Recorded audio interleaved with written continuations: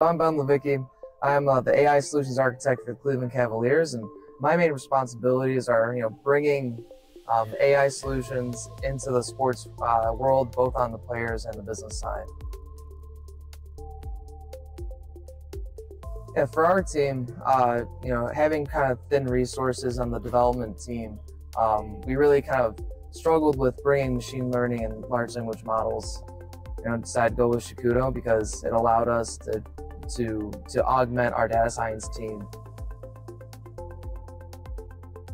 Yeah, I think probably the first thing that comes to mind is you know how do we host a Streamlit, yeah. and that was something that we really struggled with internally, and um, you know Shakudo really makes it easy and able to do it, and you know smooths out the development cycle and allows me to focus on the outputs rather than how are we going to host this, you know how you know what how can we scale this application for, for more users, how can we um, you know, kind of democratize AI across the across the organization with uh, a you know a good mixture of use cases.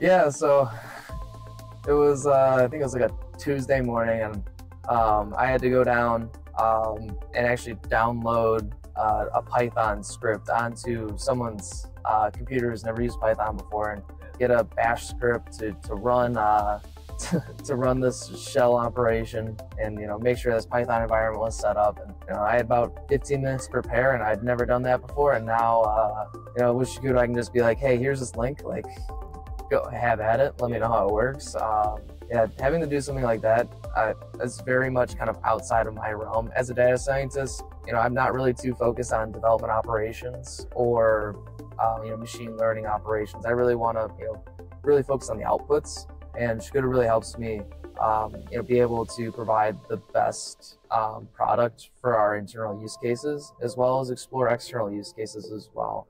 Um, not only just doing like a Streamlit app, but also you know providing APIs to our current dev team to help them integrate um, large language models and machine learning um, algorithms into our current processes. They were definitely very happy with me being able to be like, hey, here's this link um, let me know what you think here. And you know, Shakudo's platform really allowing me to you know provide better updates for applications, so making be able to make tweaks really fast and be able to serve those up really quickly without having to go through a dev resource. Um, and they, they might be in a meeting, and now I can just kind of you know go right away straight from my script, push up to GitHub, and then you know relaunch my my service um, and just be like, hey, yeah, retry the link now. Here's here's your new feature it really smooths out the entire process. It makes me feel like I have another person on my team um, that's really backing me up um, and also doing it in a very efficient and effective way, both monetarily and just time wise. Yeah, so we, we saw actually a couple of them. Uh, some people wanted to come in and help us build our own large language model, you know, for fine tuning, or build our own RAG system, or you know hey you, you have this machine learning model great we can we can serve it we can deploy it. But none of them really helps along the full stack of data science which is you know from development to you know product management really being able to observe um, how the application is performing. Um, so it, the way that Shakudo kind of ties in with all the tools that we use already um, really helps us you know create a full stack solution with any tool, there's going to be, you know, a learning curve. And I felt like Shakudo's learning curve for me, not really having too much development operation experience. Um, I felt like, you know, within a couple weeks, I was, you know, as an AWS expert, uh, being able to kind of, you know, scale my applications on, on a Kubernetes instance and be able to deploy, um, train, and you know, serve applications as well. Yeah, Shakudo uh, feel like I have a machine learning engineer in my back pocket and it really helps me go coast to coast um, with our ML and LLM solutions. In the last two months, we've really been able to uh, produce about four applications that kind of amount to about 100,000 in terms of uh, return on operation. So really efficiency gains um, that we're seeing there. Um, and now you know, with that, with those small wins within our organization, it's really, you know, being able to go small wins up and running very quickly and into the hands of our um, end users. It's allowing them to come back with us and collaborate. Yeah, going from the realm of possibility with stakeholders, Yeah. um, and then a few days later, getting something in their hands that's tangible, Yeah. and allowing them to kind of be at the table in terms of those conversations, really creating a, a user experience that's more curated to them, um, without having to go through you know long development cycles, um, you know prioritization within the development team and everything. Really kind of smooths out um, you know my my communications with our with our end users. Uh, yeah, so I think it's really you know whenever you guys come out with a you know a different use case, just being able to you know, see those repos and be able to you know brainstorm ideas that are already possible and have like templates ready for me. You know, maybe you guys come out with a multimodal search, and I'm like, oh, that's something that's really interesting. That's something that's possible on this on this platform, and you know, it feels like I have um, like an extra collaborator um, in the room where you guys are you know trying to help me use the platform and, and gain more value out of it, of course. Um, but having you know those use cases out there um, definitely really helps me determine like my roadmaps and also like you know the best way to go about my use cases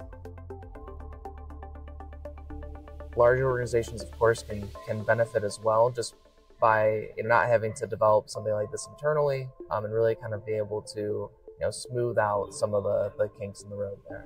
Yeah, we're about 400 people. Um, we have a you know, business intelligence group about 10 um, and a data operations team about four and as well as a devops team about three right now.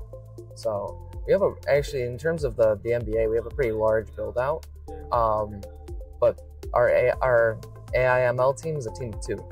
Um, so that, that's probably pretty relatable um, to many organizations out there uh, across sports business um, that that don't have the deepest um, teams, um, but you know want to get the most value out of out of the people they have.